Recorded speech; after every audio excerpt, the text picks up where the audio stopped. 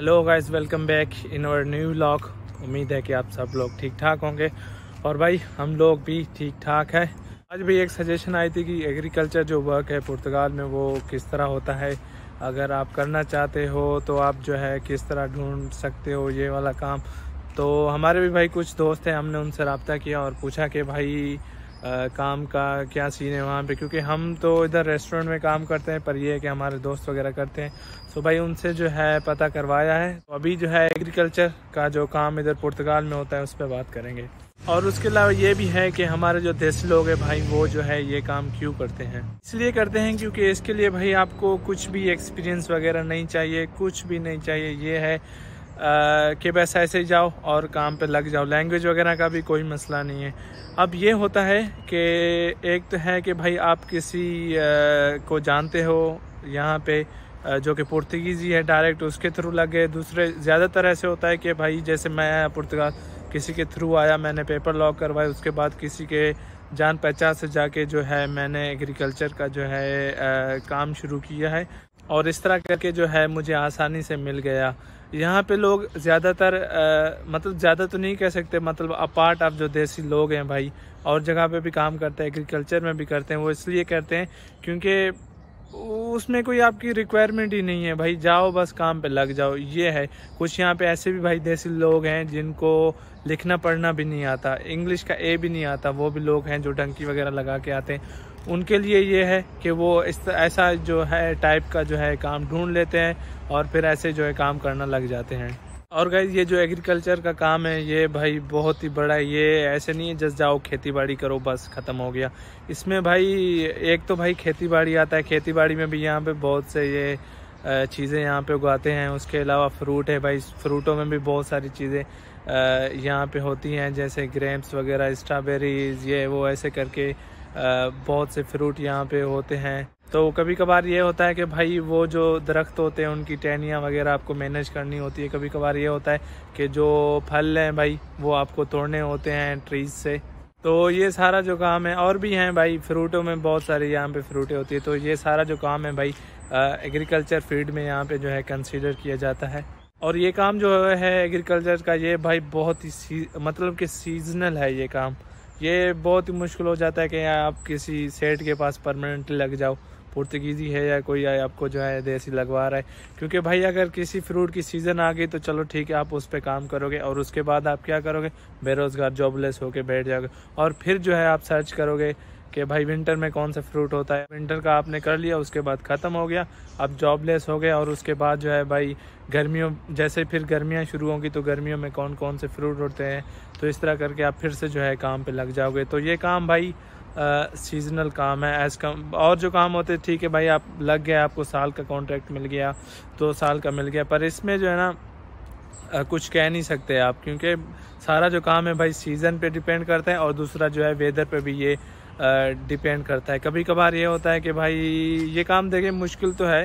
और काम जो है भाई, हमेशा मुश्किल ही होता है। जिन लोगों ने नहीं किया होता, वो आएँगे, करेंगे तो उनको पता चल जाएगा। पर ये है कि अगर मतलब हार्ड ही है यार एज़ कंपेयर टू अगर आप फैक्ट्री वर्क देखते हो या ये वर्क देखते हो तो दोनों हार्ड ही हार्ड ही हैं। और जो ये भाई, ये फैक्ट्री वर्क होता है, ये तो चलो वेदर पर डिपेंड नहीं करता, पर जो एग्रीकल्चर वर्क है भाई, वो टोटली वेदर पे डिपेंड करता है, क्योंकि कभी कभार ये होता है कि भाई आप काम पे गए, ठीक है, सुबह को जो है मौसम था बहुत खुशगवार क्लाउडी था, ठंडी हवा थी, और बाद में जो है अचानक ही भाई रेन होना शुरू हो गई, और भाई सेटलों का यही होता है कि हमारा नुकसान ना हो। कभी कभार वो आपको बोलते हैं कि भाई आपको बरसात में भी काम करना है, ऐसे ना हो कि फ्रूट्स जो हैं कोई भी फ्रूट वो ऐसे ना हो कि ज़ाया हो जाए।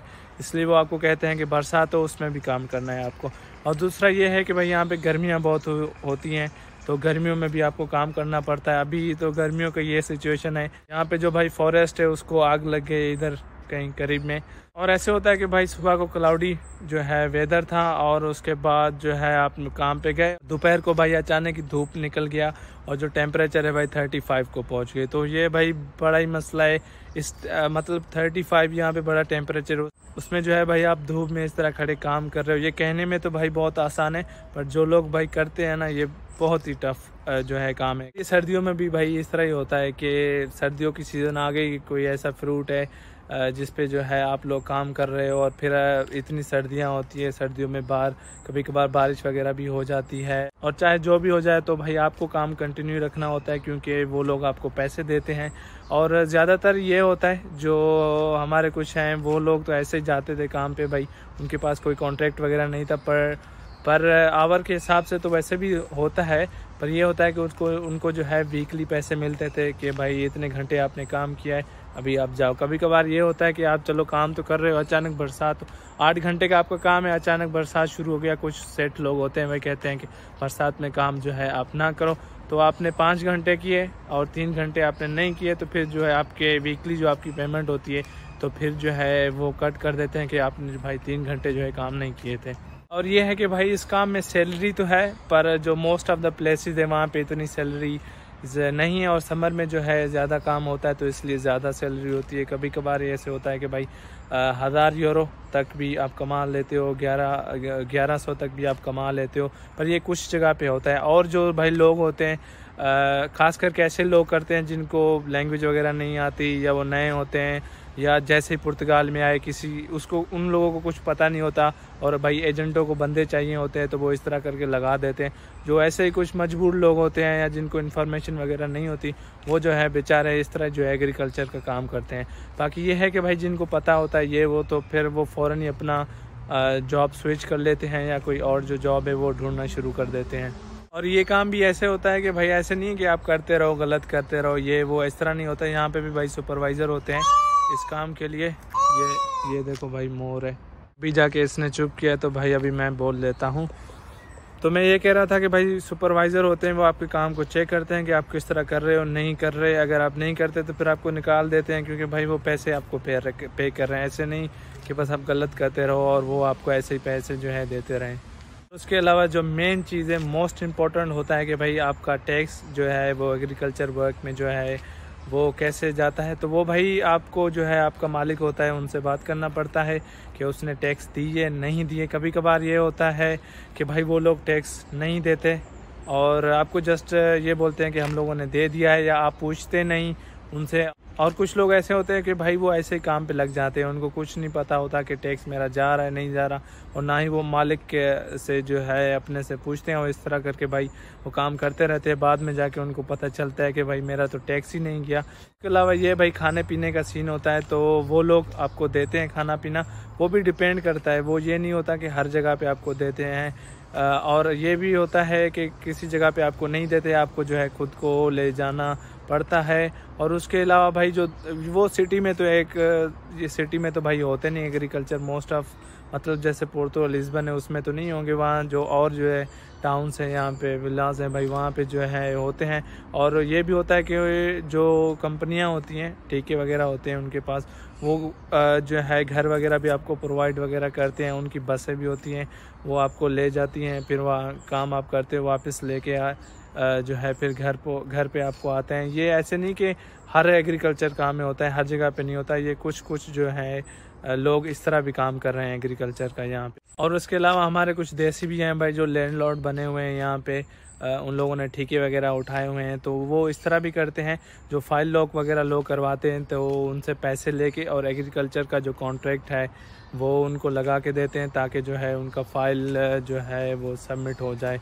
पर ये है, जैसे हमें, हमने भाई हमेशा ही बोला है कि देसी अगर आपको को, कोई काम दिलवा रहा है खास करके ये हो या कोई और हो गया तो उसमें ये होता है ज़्यादा चांसेस होते हैं कि भाई वो अपना कमीशन लगवा रहा है। मोस्ट ऑफ़ जो हमारे देसी लोग हैं भाई वो एक दूसरे की टांग खींचने में ही लगे हुए हैं। पर ये है कि भाई सारे नहीं हैं कुछ अच्छे भी हैं जो जो आपको जो है ऐसे काम दिलवा देते हैं देखते हैं कि भाई काम इसको चाहिए तो ऐसे ही वो जो है लगवा देते हैं काम पे। हाँ तो गाइज़ आज की वीडियो में यही चीज़ें थी। बाकी अगर आपका कोई सवाल है तो भाई आप कमेंट सेक्शन में पूछ सकते हो या जो हमारा फेसबुक पेज है, वहाँ पे हमसे कांटेक्ट कर सकते हो। और ये वीडियो अच्छी लगी है तो हमारे चैनल को सब्सक्राइब करें लाइक करें और शेयर करें। तो चलो मिलते हैं अगले वीडियो में।